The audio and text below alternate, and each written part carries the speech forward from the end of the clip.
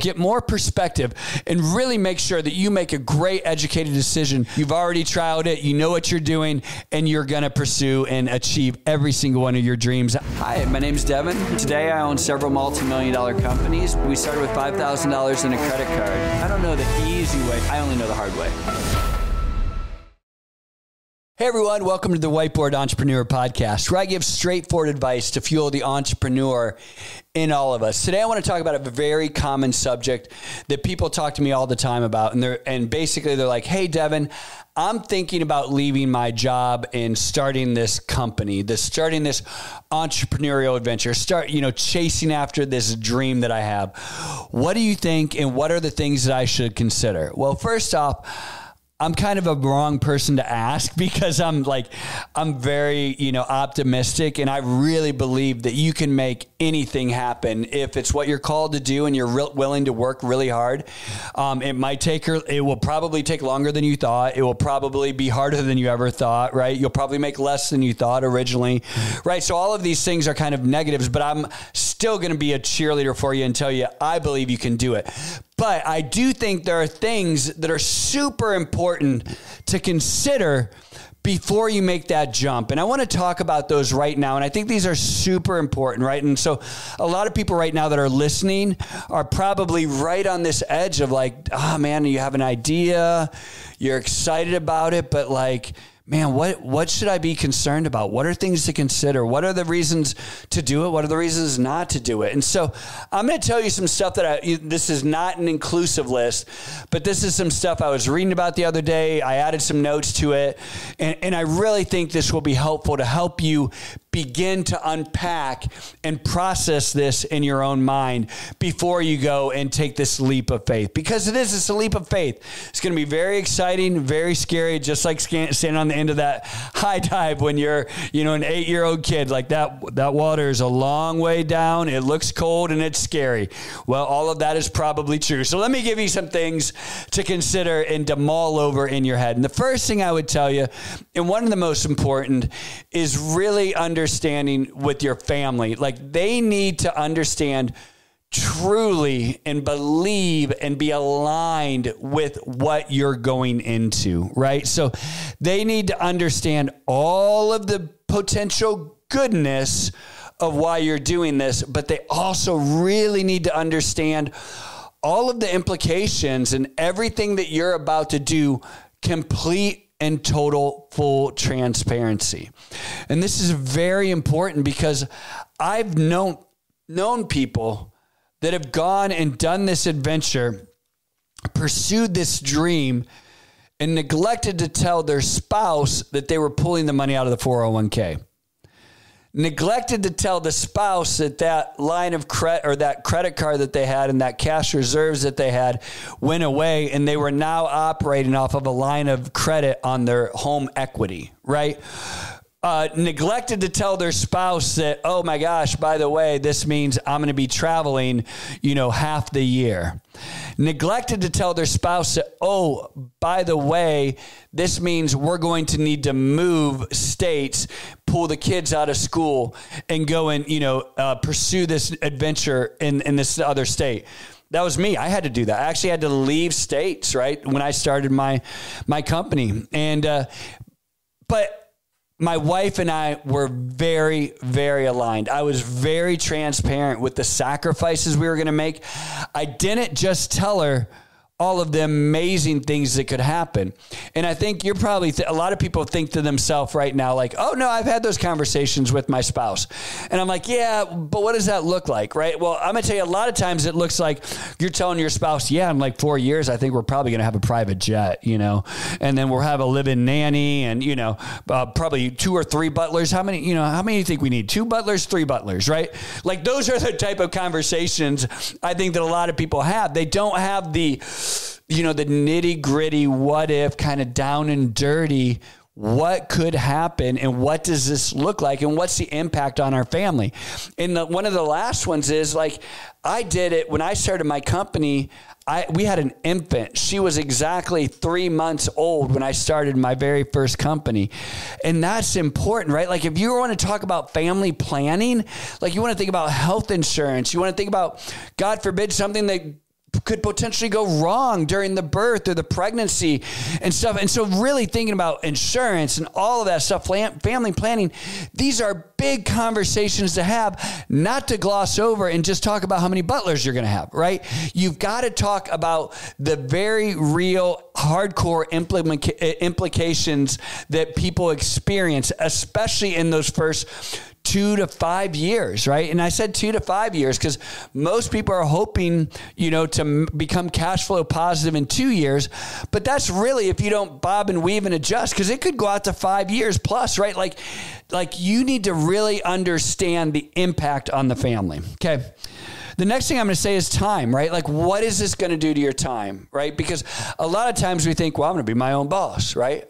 That means I get to do whatever I want whenever I want, right? I'm gonna I'm gonna take Friday off and I'm gonna be golfing Friday afternoons. I'm gonna go in late on Mondays and I'm taking the weekends off. I'm gonna take this, you know, during the holidays. I'm gonna be here. I'm gonna be in Cabo and da da da. Right? Like we have these these ideas that might be true 20 years from now. But let's be honest. In the beginning, like you're going to probably put way more hours into this than you ever did working for somebody else. Because guess what? When you worked for someone else, you had a job, right? And that job was pretty defined. You don't have to be the person to take out the trash. You don't have to be the person to do the finances. You don't have to be the person to do the sales. You don't have to be the person to do the marketing. You don't have to be the person to do the pro- or the project management. You don't have to be the person to do the HR. You don't have to be the person to, you know, do product development. All of these different things, right? You're going to do all of those jobs, all of them. In the beginning, you have to understand and do that. Like you're going to have to be the person that returns the angry calls when someone screws up because that that screw up person was you, right? So your customer service, you have to do it all. So the idea that you're going to have more time on your hands being an entrepreneur versus uh, your current situation probably isn't true like you really need to understand the time implications that that you're uh, and the investment that you're going to put into this the next thing I'm going to say, and people don't talk about this often, but it's location. It's kind of where you live, right? So there's a few things. One, you might start something. I mentioned this, I think I mentioned this on another podcast, is that when I started my company, I ended up having to move my family states, right? So think right now, if you start something, all of a sudden you have to move your family you know, outside of your school district? Where are your kids at? Are they in their senior year and you're going to move your kids outside of uh, to a new school? Like you, so you need to understand there are certain implications uh, and certain businesses that require location um, obligations, right? So I have friends right now that live in a location that they don't love. They would much rather move. They would much rather be in a different state, different city, different location, but their business is tied to that location and they're stuck. Like they are going to work there for the next 10 to 15 years or until they retire. Like that's where it is. And so you have to understand, you know, what are the location implications of these entrepreneurial dreams? And, and am I okay about that? And is my spouse okay about that? Are we going to be okay doing this for the next 30 years in this city, in this state with these schools or whatever, right? These are the things that are very, very important that you ask yourself and that you contemplate and consider. Uh, the next thing I would say is basic cash flow, right? So not just cash flow for you and your family, right? Not just being able to, you know, make the mortgage, uh, make the insurance payments, make the car payments, you know, be able to pay for, you know, the to go on vacation or to buy groceries. Not just those cash implications, but the cash implications of your business. Like your business is going to be more like, most likely, way more expensive than running your household, right? Your business could have a lease obligation. Your business is going to have insurance. Your business is going to have marketing requirements pay per click, Google, uh, websites, all of these cash implications, your business is going to consume cash, right? Especially in the beginning. And there's going to be so much cash consumption, oftentimes before you make $1. And then after you start making that dollar or that, that money, or maybe 5000 a month, 10000 a month, $20,000 a month, great. You just had 20000 in sales, but what are your ongoing monthly expenses? And how long does it take you to cat or collect those $20,000 in sales versus those expenses are due today. So you have to weigh out your financial obligations of your business and your financial obligations and runway for your personal finances as well and have that planned out because that is going to be consuming. I've seen several businesses that in theory are succeeding, but they run out of financial runway. Like this is so common where people are like, I'm doing great. Like the company's going the right way, but we're out of cash. Like we've done all the hard work, but now we're out of money and I don't know what I'm gonna do. I'm gonna have to shut down my company. I'm gonna have to take on investors. I'm gonna have to sell my company. My, you know, oh my gosh, I'm gonna get foreclosed on my house because literally we've taken a line out of credit on the house. So these are the things, and I'm not telling you these things to be negative. I'm telling you these are the things to consider before we jump off that high dive, right?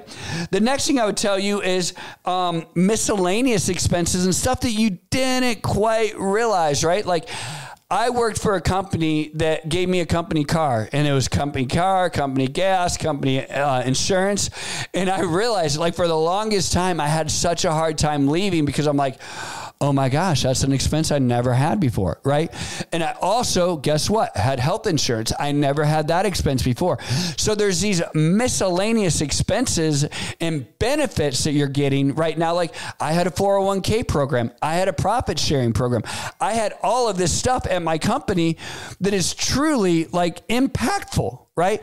And I'm going to go leave that and and basically maybe cash out my 401k to start something. And now and by the way i don't recommend cashing out your 401k but now i'm going to go start something that geez i don't, you know I, we have no 401k program. There you know i don't even have a paycheck yet right? Much less health insurance and all of these other benefits you know paid vacation all of this stuff that when you're on vacation in cabo you still get a paycheck.